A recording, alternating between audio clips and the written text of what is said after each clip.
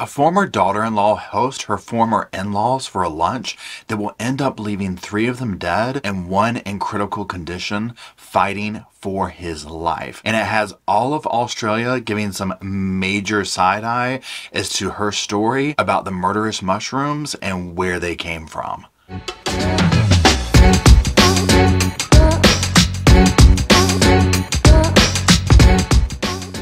Hello Sofa Squad and welcome back to the sofa. The sofa's behind me, still pretending to be a sofa. My name's Paul and our sassy sidekick Mr. Roscoe Pico Train is sitting over here under some covers, though I will almost guarantee you that he is going to be making his little chicken scratching once I start talking and that's when he'll make his appearance. Now today we're going to be talking about a case that has been, I don't even know what to say about this one, but in this point in time nothing shocks me anymore, right? Uh, but we're going to be talking about the case that has become known as like the murderous mushroom case and you'll soon learn why. Now specifically specifically for this video, what we're going to do is we're going to review this in a few different ways.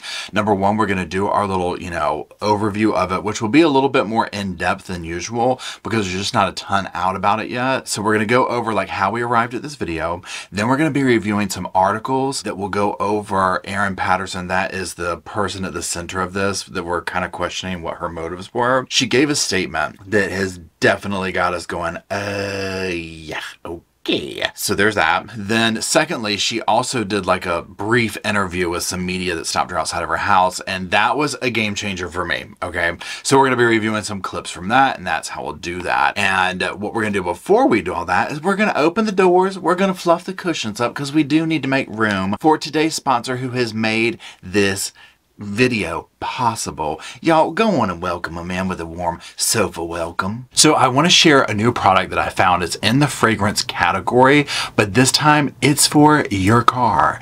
Now what's even better about it is this is Scentbird's sister company and y'all already know if you follow me that I have fallen in love with Scentbird. So I am stoked about this one and we're actually going to take a field trip to the car to talk about it. Drift creates air care products for your car and your home. All materials they use are sustainable and their scents are made with natural essential and fragrance oils. Now their car products are just around $9 for wood and metal and 14 for stone. Okay, so y'all, before we even get into how the subscription works and all that kind of stuff, we're going to talk about the scent. Ugh. It makes me want to cry. it makes me want to cry. It smells so good. Okay, so this is the first one I got is teak, dri uh, teak drift on the thing, musk, amber, pepper, teak, and cedar. Just the cedar smell reminds me of like childhood walks in the woods with my parents, fall, Christmas. It is amazing. Take my money drift. Okay, so like I said, it's a subscription service. You get like a little starter kit. So you get this metal thing right here, and I'll show a close up of it on my little uh, thing up here. But you get this, and then you get your, you know, scent. I just showed you it's this one for this month. And you get some little instructions like this. It comes in the cute box that you saw. I love the subscription model because you don't have to think about it. Now, another good thing about the subscription and letting you switch it out every 30 days is it gets you away from like that nose blindness. That's not going to happen with this. You're going to have something fresh to keep everything going. While I'm all about a subscription service, I also need like ease and accessibility, that type of stuff. You can switch it up. You can do whatever you want. They are very like made to order, customizable. Let's make this fit you. Now, this is another thing that I love about them where I'm like, wow, they really thought about everything. So they send you this little reusable bag and you can put the thing in it in between uses. Is this not genius? They literally have thought of everything. Now, make sure to use my code SOFA55 at Drift. You're going to get 55% off. And y'all, on your first month's order, it makes it like a little over $4. Okay. I mean, hello. Like I said, take my money. All right, everybody, be sure and give them a little checkout. All the stuff is down in the description below. Oh, Okay, now let's go ahead and do an overview. Let's talk about how we arrived at this video. So first we need to take a little journey and that journey is going to be all the way to Australia, specifically Gippsland, Victoria. Today we're going to be talking about Erin Patterson. She prepared a beef Wellington luncheon for her former in-laws and uh, it did not end well. And yes, I say former in-laws, that is correct. Erin was separated from her husband, Simon Patterson, but she did remain close with her former in law. She says that, you know, they kept up their relationship. They were very close before the separation. Now, this is how this went down. Patterson invited her former parents in law, that's Gail and Don Patterson, along with Gail's sister, Heather Wilkinson, and her husband, Ian. Now, this was for luncheon on the July 29th at Erin's home. Now, here's another part to it. Her former husband, her estranged husband, Simon, he was supposed to be joining, but he backed out last minute. So keep that in mind. But here's the only thing hours after this meal, the guest fell ill. And when I say ill, I'm talking deathly ill. Now, days later, three of them have passed. One of them, Ian, is fighting for his life. At the time of this video, he's still alive but critical condition. So, depending on when you see this, he might have already passed. Uh, obviously, we're hoping not, but that's just the, the state of things right now at this recording. And it does look like he's waiting a, a liver transplant. I mean, this is that serious. We're going to talk about these mushrooms because you see how, I mean, these people literally, this almost instantaneously killed them, right? I mean, this is major, destroys the liver very quickly. These are incredibly dangerous, deadly mushrooms. And speaking of the mushrooms, let's go ahead and just talk about those for a minute. Now, the name of these mushrooms is Death Cap. Lovely name, I know. Okay, so we're going to refer to this article here on death caps, and when you see here on the screen, it says characteristics.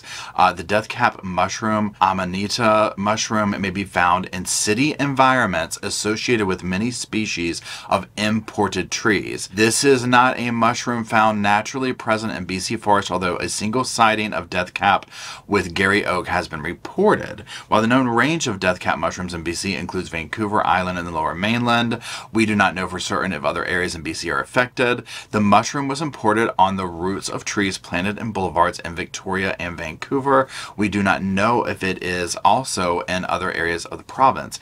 It looks like the Asian straw mushroom, and I can't say that word, and other common Asian varieties of edible Amanita species such as those, and it goes on here and it continues on. Okay, so my main thing with this is when we get into her excuse of where she got these mushrooms from, you're gonna be like, hey, girl, yeah, no, this does not make sense, right? Now, let's go look at what the article says to do about these mushrooms. This has me scared to take a walk in the woods, to be quite honest, okay? Now, I know that this isn't right around where I live, obviously, or anything, but it's that serious. I mean, this is what's so shocking to me about this case. So let's look at what to do if you even see these. So it says if you've eaten a death cap mushroom. If you suspect you've eaten a death cap mushroom, you should immediately go to emergency room. Early treatment is important. To speed up treatment and improve the outcome, bring specimens of the mushroom with you to the hospital and information about the specific location where they were found. Uh, call the drug and poison line. Uh, and then listen to this. It says the symptoms of death cap mushroom poisoning include low blood pressure, nausea, and vomiting, which begins 8 to 12 hours after ingestion. After up to 24 hours have passed, the symptoms seem to disappear and you might feel fine for up to 72 hours. Symptoms of liver and kidney damage start 3 to 6 days after the mushrooms were eaten. Okay, so this is what I'm talking about. So Ian, who's fighting for his life right now waiting a liver transplant. I mean, y'all, this is that serious. You have to also wonder because at this stage in the game, I don't know how much they ate, but I mean, in my mind, when we're sitting here talking about this, it's like imagine you're doing some kind of dish with mushrooms on it, right? Because she claims that they were mixed in with something. We'll get to that in a little bit. So I'm thinking they probably ate a lot of them, right? This almost sounds like what we just read. Like if you accidentally ingest a little bit or whatever, but to eat an entire serving of these, and also these people were in their older years, like 66, 70, like that age range, right? So, I mean, you know, this was not good. So you can see why within hours they are deathly ill, right?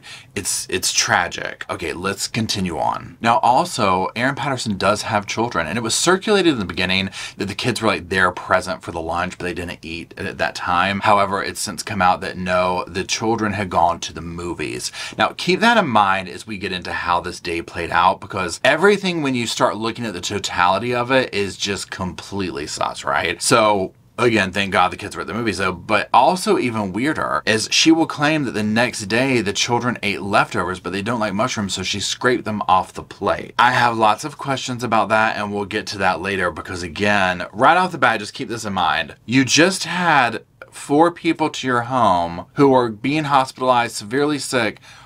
Why would you feed your children the food the next day? You had to put two and two together, right? I mean, you know, come on. Why would you do that? And then, oh, they don't like mushrooms, so we got rid of them. I mean, come on, right? And even say she didn't know, say she did not know, and the mushrooms were on the plate or whatever. These sound so poisonous. I'm like, what if some remnant of it was like even near the food? It sounds like it would make you sick. So we're gonna come back to that. Let's talk about where she claims she got these from. Police believe toxic death cap mushrooms were served at the lunch. Erin says she bought them from a supermarket and an Asian grocer in Melbourne. So she claims she got these at a store, you know, but can't really remember, and we'll get a little bit more into what she you know, really goes into about it. But again, as you learn about these, it's just like, uh, girl, I don't think you got these at a store, right? And also keep in mind that, you know, we haven't seen any recalls come out yet. Imagine here in the States, if somebody claimed, we've seen this before, right? Of people trying to pull numbers like this where they're like, oh, well, we got it here. There's usually a major thing that will shut something down if there truly is a something that's wrong with this food has been distributed everywhere, aside from a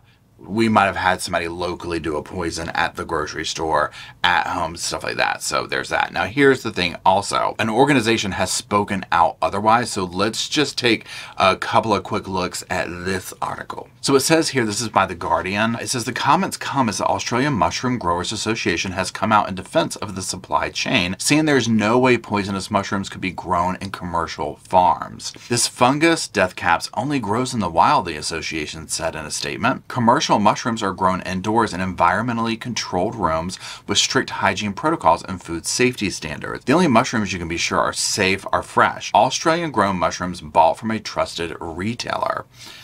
So yeah, not a cute look for Miss Erin. You know, now again, she's claiming, well, I don't really remember where one of the markets was. And another one was like a little Asia market or something. Remember how it said that they can be mistaken for that or whatever? But we'll also get into her experience with foraging herself here in a little bit. Now, like I said, one of her friends has spoken out. Now, this is speculation. This is allegedly, right? Because, first of all, this is with Daily Mail, so take that into consideration. But this is like a source close to the family, so you, you never know. So just know that with this. Uh, but I'm going to put these up here. We'll talk about them. So it says, Australia mushroom poisoning. Friend reveals Erin Patterson was an experienced fungi forger. Now, this is from the uh, NZ Herald, uh, and they're citing the Daily Mail article. And let's go on to that actual article. So it says, the mushroom cook behind the toxic beef Wellington. That poisoned four people, leaving three of them dead, was an experienced fungi forager, according to a source close to the family. According to the Daily Mail Australia, Erin Patterson was known to often and expertly pick wild mushrooms around Victoria's Gippsland region. A friend of Patterson's family revealed Erin was very good at foraging and at identifying different mushroom varieties. The Patterson family, including Erin and estranged husband Simon, would pick mushrooms each year when they were in season, the friend said. So here's my thing. Let's go based on this is true. All the more reason to be like, wouldn't you know better than this? Like, wouldn't you recognize this? And why would you have these random mushrooms from other places if you're going and getting your own mushrooms? That type of thing. This part doesn't look good, but again, this is very speculative. This is very he said, she said. So we just, we have to take this with a grain of salt, okay? We can't get too serious about this part right here. And on that note, now that we've gotten kind of all that out of the way, let's take a few minutes we're going to go through an article that is talking about this statement that she released to authorities.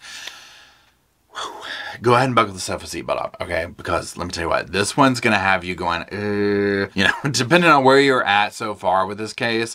Uh, the statement here, I was kind of like, uh, yeah, this isn't good. So what I'm gonna do is I'm gonna put some uh, screenshots of the articles up here. I'm doing the highlights of it that I felt were the best talking points, and uh, we'll go through it and we'll discuss it. So we're gonna start here with the uh, second paragraph down, and it says, I'm now wanting to clear up the record because I've become extremely stressed and overwhelmed by the deaths of my loved ones, Ms. Patterson said. I am hoping this statement might help in some way. I believe if people understood the background more, they would not be so quick to rush to judgment. I am now devastated to think that these mushrooms may have contributed to the illness suffered by my loved ones. I really want to repeat that I had absolutely no reason to hurt these people whom I loved. So it says, contrary to initial reports from police who said Miss Patterson's children were present but not eat the meal, Miss Patterson said the children had actually gone to the movies prior to lunch, because that's what we talked about earlier. Now it says that according to her statement, Miss Patterson served the meal, allowed the guests to choose their own plates. She then took the last plate and ate a serve of the beef Wellington herself. Miss Patterson said the mushrooms were a mixture of button mushrooms purchased at a major supermarket chain and dried mushrooms bought at an Asian grocery store in Melbourne months previously. The Patterson children ate the leftovers from the lunch the following night. However, Miss Patterson said the children do not like mushrooms, so she scraped them off the meal. Okay, now pause there for a second because there's so much here. First of all, the children. Okay, so number one, depending on which way you go, it could be completely innocent that they went to the movies, but isn't that convenient that they weren't there? You know. Also, this whole thing of they didn't like, so they scraped them off the plate. Now, I would need to see if per, like be there to see what they're talking about because I am envisioning number one, some kind of like mixture with the mushrooms would be on top of the beef or something, and that's where I was like, Ugh. but maybe the mushrooms were like a side item. I Almost like, you know, here's the beef, here's the rice, here's the mushrooms, that type thing. Regardless, okay, regardless, I just still have questions. I just still have questions that why were the children eating that the next day? I, that doesn't make sense to me. And also, I just feel like I almost feel like there's almost two different things made, right? Because part of me is like, if these if these mushrooms were that poisonous, again, wouldn't they transfer on the plate somehow, even being near them? Like, even say you scrape them off, but you moved your meat over the part where they were at. I mean, I don't know how that works, right? Uh, but it sounds completely just okay. Now, also remember how they're like mistaken for this Asian type, you know, uh, native uh, uh, mushroom or whatever we read earlier, and she's saying, "Oh, I got the dried mushrooms at an Asian grocery store in Melbourne months previously." Now, this is where she'll say, "I don't really remember which one it was." So, number one, she's saying months ago she got these. Not 100% sure, and they're dried out. Now, we're going to talk about her little uh, veggie dryer thing or whatever because she's lied about that. She's gotten caught in a lot of lies. So, keep this in mind about the dried mushrooms as we continue to go. So, here we go. All right. Miss Patterson said it had not been previously reported that she was also hospitalized after the lunch with bad stomach pains and diarrhea and was put on a saline drip and given a liver protective drug. She said she was transported by ambulance from Leongatha Hospital to the Monash Medical Center in Melbourne on July 31st. So the luncheon was the 29th. She was transported on the 31st. Gippsland Southern Health Service confirmed a fifth person who presented at that hospital on July 30th with suspected food poisoning later returned and was sent to Monash. So she's in this mix here, but notice she didn't get it as bad. When we talk about my feelings on this at the end, we'll talk about this because again, I'm like, could be innocent, but how convenient. Let's keep going. As her guest fell critically ill, Miss Patterson said she was contacted by the Department of Health and asked what might have caused the violent reaction to the meal. She said she preserved what was left of the lunch and gave it to hospital toxicologists for examination. She said she told investigators from the department where she had bought the mushrooms, although she was unable to identify the specific shop in Melbourne where she bought the dried fungi. Miss Patterson said officials from the department later sent her photographs of packs of mushrooms with handwritten labels similar to those she described to them. Okay, now here's the thing here. So when they start to, as the guest fell critically ill, Miss Patterson says she was contacted by the Department of Health. So again, the timeline of this, when and I'm still in my mind right now stuck on the children eating the leftovers the next day. She has them over the 29th, and it says within hours they were like getting you know incredibly sick, you know, and so on and so forth. Now let's say they're all two of them were a couple. Well, it's two couples. Each of them start getting sick, so they had to be like, "You're sick, I'm sick." Maybe we ate like that correlation, and maybe they called each other. I mean, I don't know. If you had just eaten at somebody's house and this happened, I mean, come on. So again, at what point was she contacted? So if we're going on this notion of she didn't know about total accident, well, the kids ate the leftovers the next day. Well, by then, I mean, you know, th- this would have been, when is she contacted by then? Another questioning of why were the kids eating those leftovers at that point? But again, I could be, I don't know the exact timeline of like, what this person was contacting here and whatnot. Now, again, then throw her in the mix. She's taken there because she has diarrhea and all this. This is what blows my mind about it, where I'm like, this doesn't add up. Why were your kids eating this leftover meal? I don't mean to get stuck on that, but it just seems so weird to me. Okay, let's continue. All right, so it says Ms. Patterson also addressed media reports that police investigating the deaths had seized a food dehydrator at a local tip, saying it was hers. Okay, now this is a major, okay? In this statement, Ms. Patterson admitted she lied to investigators when she told them she had dumped it at the tip a long time ago. Miss Patterson said she was at the hospital with her children discussing the food de- dehydrator when her ex husband, the son of the dead couple, asked, Is that what you used to poison them? Mate, we're going to come back to it. Worried that she might lose custody of the couple's children, Miss Patterson said she then panicked and dumped the dehydrator at the tip. Okay, numerous things. First of all, let's just go and address this. The husband, ex-husband. Now we don't know their vibe. I wasn't there. I wasn't friends with them. I don't. There's might be reasons, obviously, that they separated. So you know there could be a lot of that going on. The fact that he's like thinking that she killed them. I mean, hello. Yeah. I mean, this is not good. The fact that then this is another red flag. I was afraid I'd lose custody of the children. So I panicked and threw it away and lied. That's major. Now I get and if we're going on two notions here, number one, it's a complete accident. Losing custody of your children and whatnot is a scary thing. That could push someone to do something shady and lie. Given the context, that this is where I'm like, way too much stuff is going on. You have a food dehydrator, you know, and the dehydrated mushrooms are what took out your guest. And your ex husband says something about it, who was supposed to be at the dinner, and then you panic and throw it away and lie about it. Girl, no. Okay, so then it says former husband was supposed to be at the mushroom lunch. Miss Patterson alluded to media speculation about the fact that her estranged husband, Simon Patterson, reportedly spent a fortnight in hospital last in May last year with a severe stomach illness unrelated to the current incident. Now, hold on, hold on, hold on.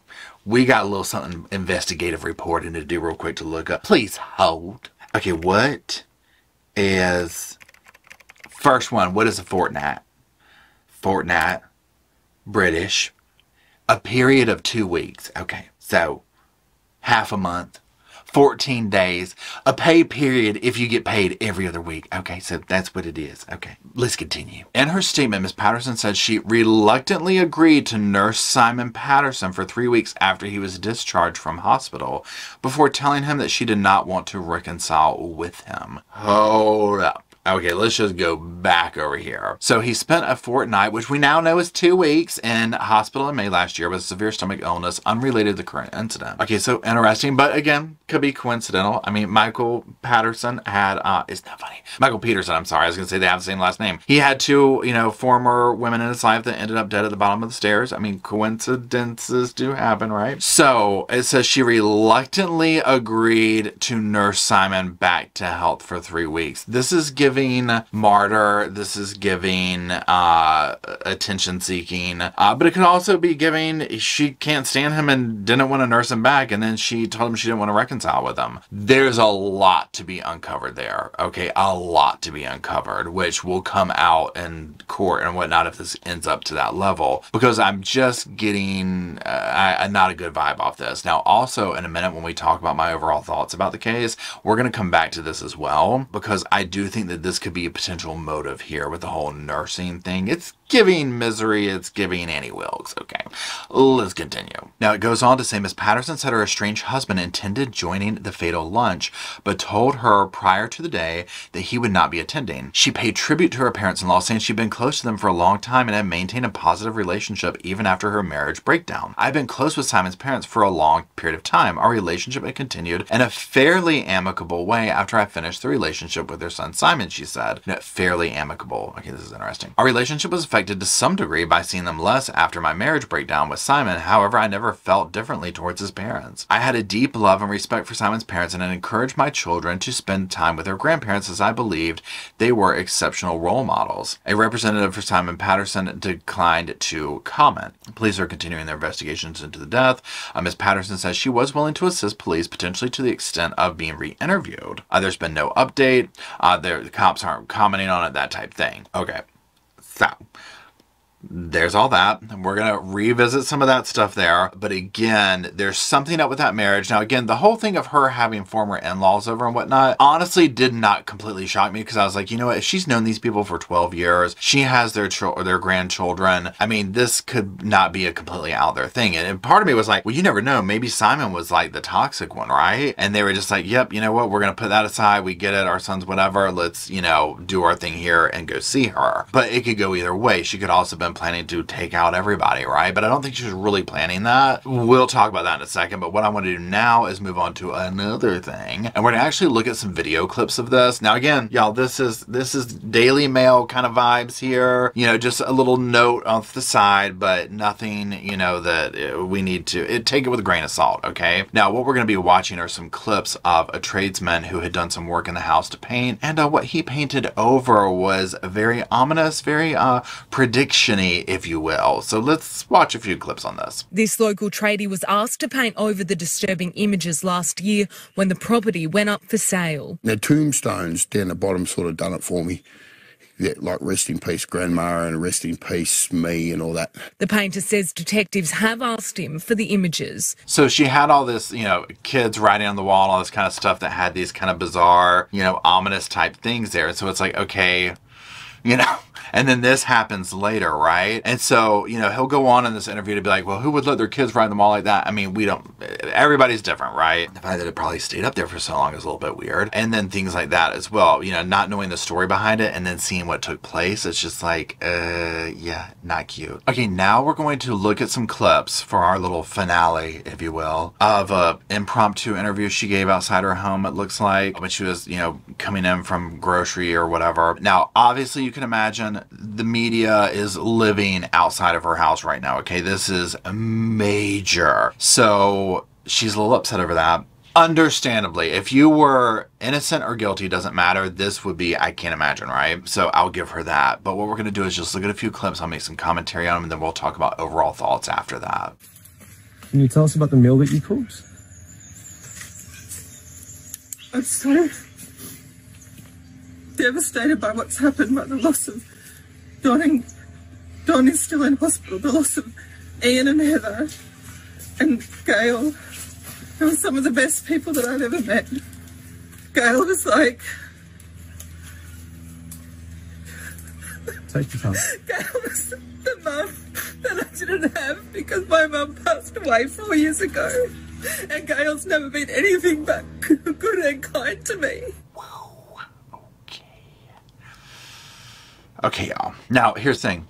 I didn't say at the beginning. Y'all already know. I ain't no psychologist. I'm no doctor. I'm no cop. I'm none of that fancy credentialed stuff. Okay.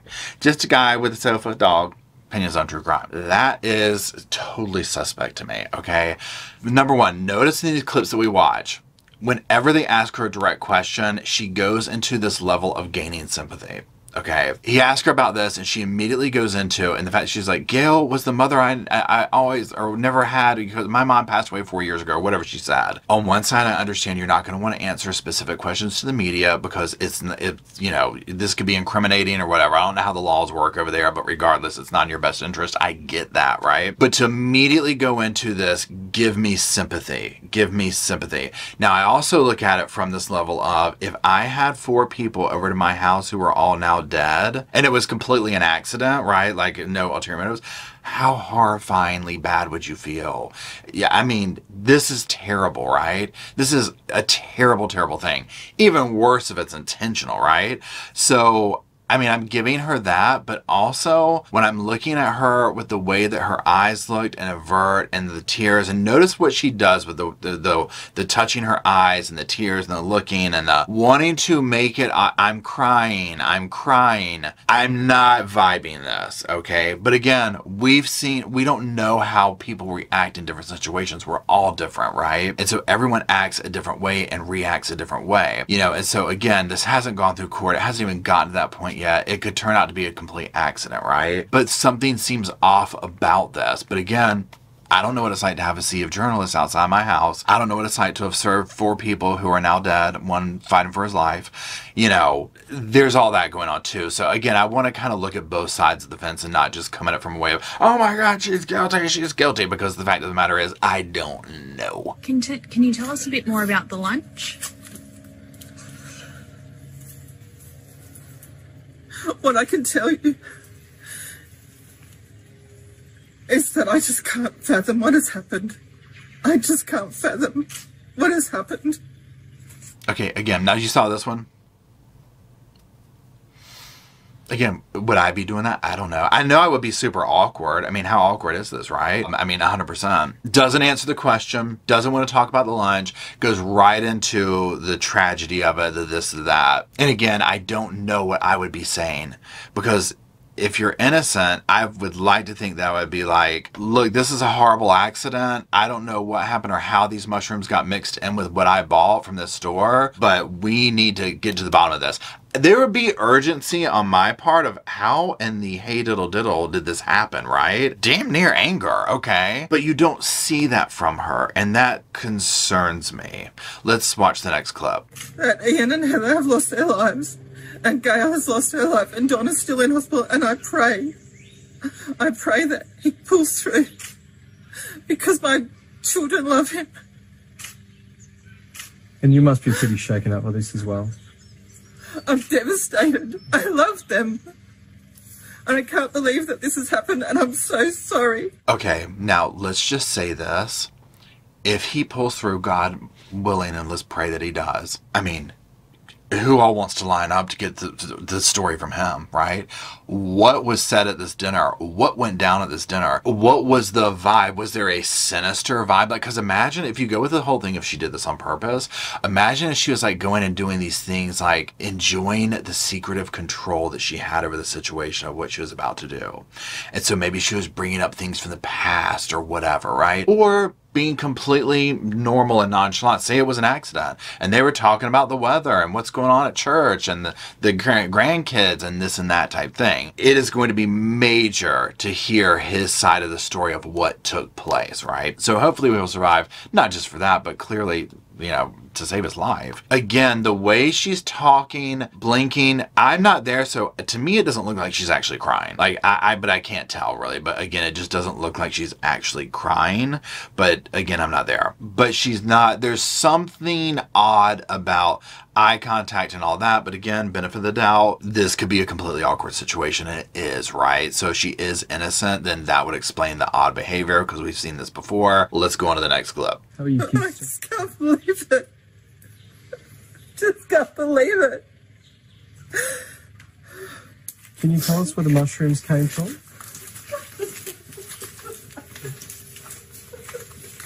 So again, asking her questions, she, you know, let's look at the water on my fingers and let's continue on. Can't believe it, can't believe it, which is normal. I mean, I, I would be, dev- I'd be completely crying over that, right? But again, just that weird body language, deflect any questions about that specific things. Let's go on to this next clip. Police say you're a suspect. Do you have anything to say about Yes, that? I say I didn't do anything. I love them. And I'm devastated that they're gone. And I hope with every fibre of my being that Don pulls through. So again, very adamant. I didn't do anything wrong. You know, I, I, I'm not a suspect, all this kind of stuff, which this is more in line with what I would expect to see. And again, I expect to see the devastation, the sadness, the talking about them, but I would expect to see more of this, like more of we need to go, we need to be recall, like we need to get to these grocery stores, we need to get here, like, you know, recall this. This should never have happened. People need to be held accountable. You're just not seeing that from her. And it's very just odd to me. Let's watch the last clip. That's Where what I did the have to mushrooms say. come from? Were they picked by you or where did they come from, Mary? Can you tell us? She got real quiet over that. They went in for the kill. Where did they come from? Were they picked by you? Tell us, Erin. Where did they come from? Mm-mm, she ain't gonna answer that, right? Okay. Let's start talking about some overall stuff. Now, again, I'm going to say it a hundred times. She is not proven guilty of this yet. We do not know. This could come up with proof that it was a true accident, a tragic, horrifying accident. We could also come up with proof that she did this intentionally. Here are my red flags with this. I've already said it a hundred times about the kids eating the leftovers the next day. Okay, there's that. Having everyone over, ex husband included, for this meal it's just a little bit odd, but nonetheless, okay, cool. The ex husband who had already had some kind of stomach thing unrelated to this incident in the past where else? I mean, where else can I go? Her behavior in this little interview, lying about the food dehydrator. While there's an answer that you can look at on both sides for everything, it's also like, huh.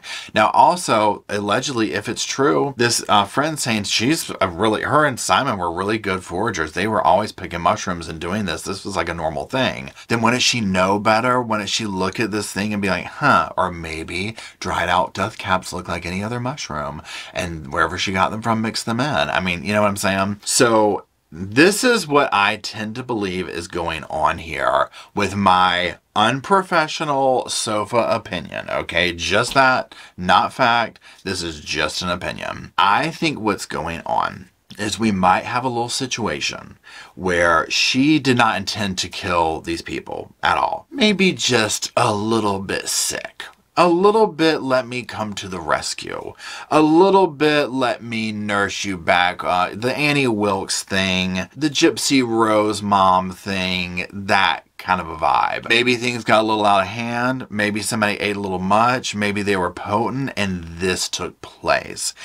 So or it could have been a final meal, right? I tend to think she was doing something that was going to cause some kind of interaction to have to do with one another. Like, I'm going to have to tend to them. I'll come in and rescue or, or let me bring this to you. That type of situation. To me, one answer would come forth is if we were actually to hear from Simon and if he set the record straight on his side of this is why the marriage ended. This is what was going on. Because if it was him that ended it and didn't want to be with her, this this would all fall more into line with like, okay, got it. Now, if it was that he was like, say, some, you know, I mean, I don't even know, like, I don't know much about him, but if he is some, you know, crazy ex husband that she couldn't stand anymore and so on and so forth, there you go. The fact that she nursed him back to health one time and then was like, I don't want to reconcile things with you is odd it was almost like you could see this playing out again of well i'm going to serve this to everybody and and maybe she was just planning on serving it to Simon. But then you would think that she would have taken the mushrooms away, right? If it was like, oh, he's not going to be here, let me take this away. Like she knew he liked mushrooms, which clearly she did. She was married to him and they foraged them, right? So that's like a no brainer. I just feel that's my opinion of it though. I think something like that is what's going on because again, I'll say this. There's not been, at the time of this recording, there's no major food recall. We're not hearing any major thing of, oh my God, shut down this, shut down that. I bought these at an Asian market. Can't really remember specifically which one months ago I mean, come on forage mushrooms herself. Why didn't she already have some? You know, this whole thing about throwing the dehydrator away, that's major, okay? The painting stuff on the wall, mm, you know, I mean, that can go either way with me. It's definitely weird, but I mean, I would need way more information about that, right? And then also the behavior during this interview, it didn't set well with me. It didn't set well with me at all. And again, I'll give her the benefit of the doubt of, you know, like I've said, she's being interviewed. This has happened. It's tragic. I mean, all of it could play into that. But I didn't like like the tone of her answers because they just seem geared to gain sympathy and dodging those hard hitting questions, you know. But again, it's like I wouldn't want to be answering those either. I would know that anything I said was going to be torn apart. And if somebody's asked me about some major, eh, potentially incriminating things, whether I was, you know, whether if I knew I was innocent or not, I know this question can be incriminating. So I'm not going to put it out there because imagine this. Imagine she said, I got it at uh, Market 123 uh, on street, you know. Well, you know they're going to all run over there and they're going to be questioning them and it's going to put them on blast. If that's where you got them, I would want to do that though. I'm like, I got him at the Piggly Damn Wiggly. Okay, over on uh, the corner of Billy Bob and, uh, you know, Aunt, Aunt Wilma or whatever. I'd want to put him on blast. Let's get some answers. Why, how, why did they sell me death caps? That's how I would be about it. I wouldn't want to be protecting the grocery store. I would be upset at them. You know, I can't remember where it is. We're getting in the car and going. Okay, we're getting in the car and going. Maybe she's done that at this point. You know, but it's very weird that there's been crickets on that. You know, that part's very odd to me. So, anyways, this is the Mushroom Massacre. I mean, I just, I can't believe we're talking and even having this conversation, right? Let's send out good vibes and prayers that, that Ian makes it through, right? Not only for his own benefit, but to also find out, like, what went down at this dinner. Um, so there's that. And also, once again, thank you to Drift for sponsoring this video and making my car rides that much more enjoyable with their beautiful scents. Um, all their stuff's in the description below, so be sure and check that out and don't forget that code that's on the screen right now. It's side up I forget forget. I also think what she probably could have done if she is guilty of doing it is that she could have given herself a very low dosage of it to make it look like, look, I got sick too. Think about all these crimes that we see where the, where the perpetrator wants to say kill his family but make it look like an intrusion or something like that. So they kind of harm themselves, but then their family is like brutally taken out, right? This is that, but in a different way, in a poisoning way. I ate one little sliver and got an upset tummy, but oops, all the guests are dead you know, so there's that. Now, if you are still watching, I thank you. Roscoe is on top of the covers and asked to put some sofas over there for him. He's still, you know, he's he's in the room with us. And he says thank you for watching to the end too. Dying to know your opinions, okay? Dying to know. What do you think? Do you think it's on purpose? Do you think it's not? I mean, every, all the things we need to know. We need to know in the comment section. And until we meet down in the comment section to talk about all the things Mushroom Massacre, I'll see y'all there.